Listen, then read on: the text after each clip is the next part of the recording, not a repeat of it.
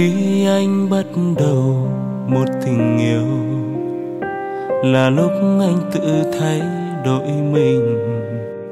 Không còn những đêm về khuya. Hmm.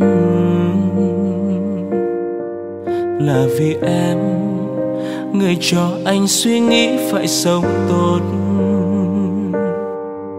Là vì em, tình yêu của em đang được trân trọng thay vì phải xin lỗi, anh muốn tự mình thay đổi. Anh sẽ lo lắng về anh như em đã từng cố gắng vun đắp mà không thành. Hứa với mình rằng em không được gục ngã, anh muốn nhìn thấy em cười dù là cách xa anh sẽ vẫn tiếp tục để người ta nhìn em bằng sự nuối tiếc khi đã vô tình bỏ rơi em.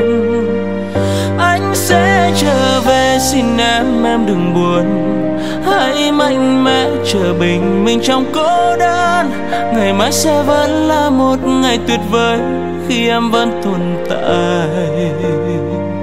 Trên thế giới này